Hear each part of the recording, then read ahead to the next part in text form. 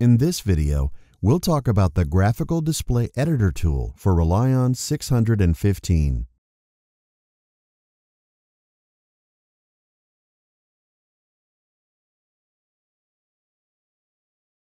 Here we have a blank list, and I will add elements to it by dragging and dropping elements from the object types.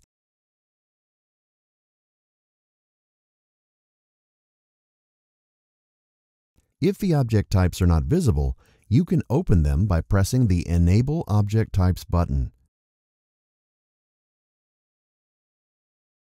Elements and object types for Graphical Display Editor are divided into different sections.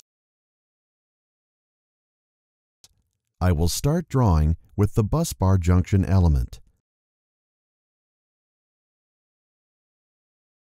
Notice that here are three bus bar junction elements one on the beginning, one on the end, and one in the middle, which will be connected to the feeder line. Next, we will insert a feeder element, and you may notice that the tool help you put it in the correct place.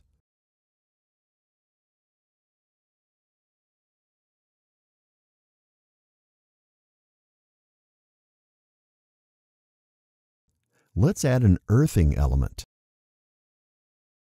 I will add the other junctions later.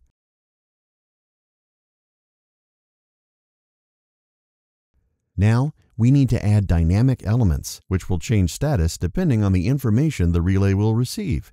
Let's add an isolator for a disconnector, then a circuit breaker and another isolator for an earth switch. Then we can add junction elements.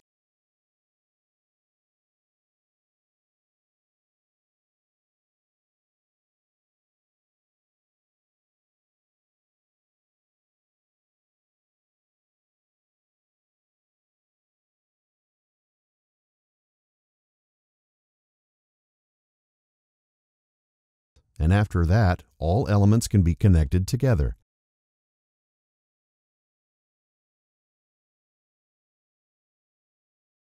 To make a line, you need to hover over one of the element's red triangle, then left-click, hold,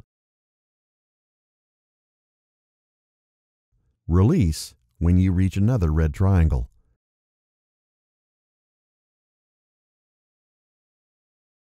This way, we can connect all needed elements together.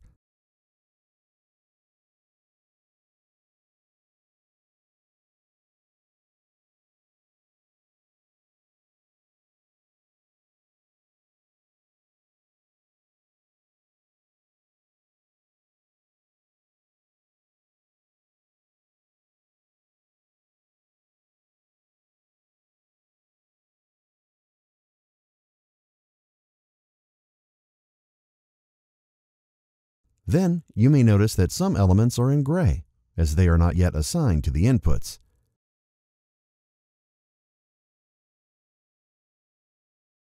This element represents the disconnector.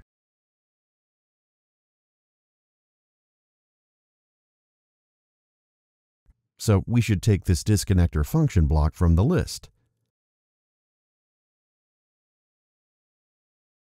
This element represents the circuit breaker so we need to select the correct one from the list. And this one represents the earth switch.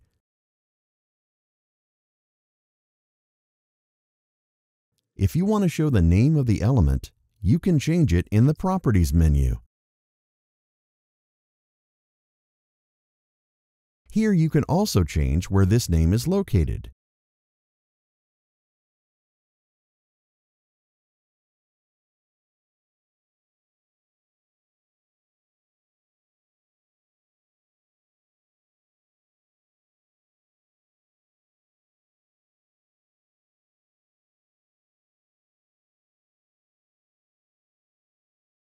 We got this message because the name went out of bounds.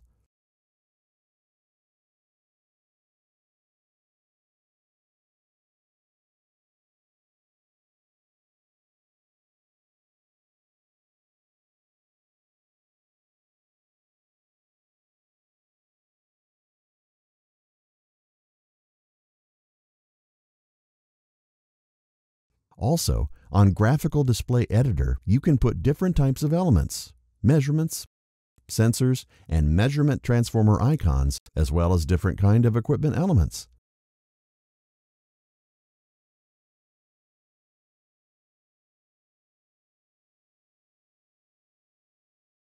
This selected button is an element which can be controlled from the local menu and can send signals within the application configuration.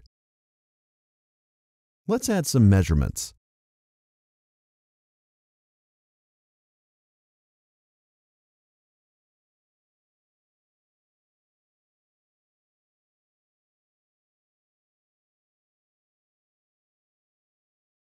You can change the name. And you can change the input signal.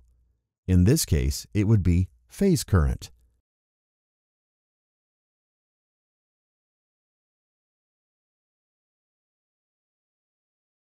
Then unit text by default is kilovolts, and you need to change it if it is in different units.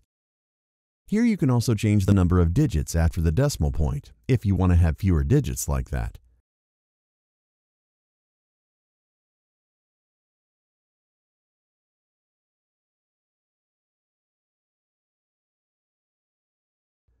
After the changes are done, you can save and you can write this to relay.